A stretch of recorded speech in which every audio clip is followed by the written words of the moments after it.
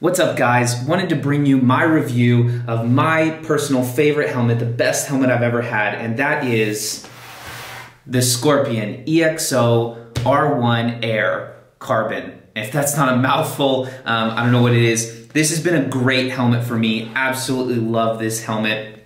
Uh, I love the carbon's look, the feel, and of course, my favorite part of this helmet, how light it is. Um, of course, I actually have a Sena on this, so it adds a little bit of extra weight. I'm surprised how much weight it actually adds when you put it on the helmet, but this helmet has been amazing. Love this thing. If you're looking for a new helmet that is light, um, this is my pick. I actually, after going carbon, I will never ever go back to something that's not carbon, or at least this this weight.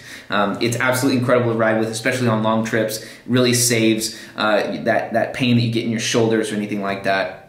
So first, let's talk about comfort. As you can see here, you've got a really nice uh, piece here that's keeping a lot of the wind out when you're going down the road. That is a huge benefit, especially in the winter. Uh, you can, I think, yeah, you can take this out if you want. So if you wanted more airflow in the summer, you could do that. Um, and then of course you have the emergency straps here for the EMTs if something were to happen, easy access to get that thing off.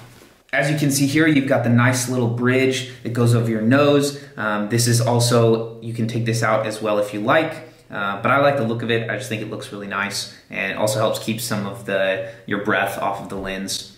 Speaking of fog, this setup does come with one of Scorpion's uh, Pinlock anti-fog lenses. Basically what that is, is you've got these uh, pins here in the side of the helmet and you've got this covering. I don't know if you can see it up in there, but you've got this basically another layer. It's almost like another lens that fits up inside this lens and it wedges between these two um, pins. And of course, it talks about pin lock because it's referring to this here. You've got this little cutout for the pin lock that goes down in locks in front of the helmet, which is also a nice little feature. Never had that before, but it is kind of nice. The only main problem I see with the anti-fog lens on this helmet it works 100%, no problems whatsoever. I can breathe as much as I want in the winter, no fog. Problem. It only comes with one. Since you don't have the drop down visor, when I'm out at night, I have to switch between the dark visor from the daytime and switch into the night visor. And basically, I don't have two of these. And it's, you know, it's one of those things where when you put it on there, it has to seal perfect. So it's not really something you want to interchange a lot. So for me, that's kind of a loss. They should have included two of these, and I've been in the market looking for them, and they're not that easy to find. So when you get the helmet, if you have the option to get a secondary one of these anti-fog lenses, jump on that as soon as you can because uh, they're a bit hard to find. Let's talk about airflow. So the airflow on this thing, decent. I've honestly never felt like any helmet had any great amount of airflow except for when you do that. um, you know, something I do like to do is sometimes I'll just give it a little crack there at the bottom and I'll ride, you know, if I'm not going down the highway or anything, you can give that a crack and, and it'll just kind of let some airflow in. It does have four ports, uh, so you can get that through airflow. The back port does not have an open close feature, it's just always open. And then you've got the open up here, open close, and then you've got the open close right here. I do like the look of that, kind of kind of cool looking when that drops down.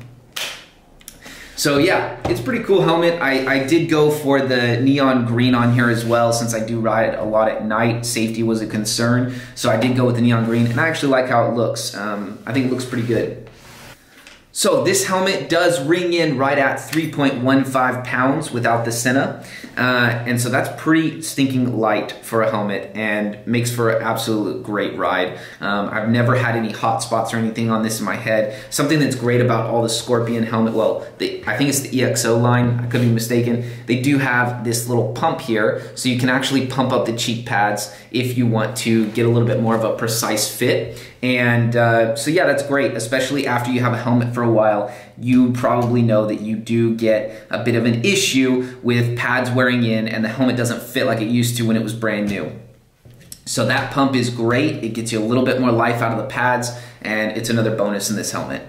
Okay, here's my bugaboo with this helmet. Love this thing. When I got this, I was so excited and I really wanted to put my Sena on here. Well, when you get inside of this helmet, I can't show you without really getting up in there, but this helmet is not really made to have those Sena earpieces up inside and the sides of the ears. So it kind of made it really uncomfortable and I had to really mess with them for a long time. It wasn't easy. I had a helmet before this that was made for a Sena and you can just pop the, you know, had little ins cutouts in there and you can just drop the, the, um, the earpieces in there and it was great. Never changed the comfort of the helmet. So that is one major negative for me. Uh, it's kind of something that i always have to finagle now to get my head in. I have to make sure my ears fit in there correctly. So that that's kind of a negative but i have figured it out now and i've gone on a couple of trips. Kind of wears after a while with having my ears touching those things not so comfortable but without it this is the most comfortable hands down most comfortable helmet i've ever worn in my life.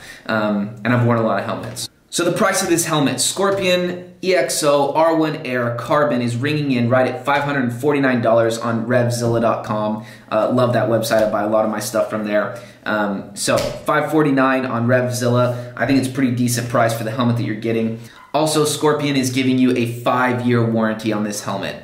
So if anything happens to the helmet, you can always send it back in and redeem on the warranty. That is a manufacturer warranty, by the way, so not with RevZilla. You'd have to go through Scorpion.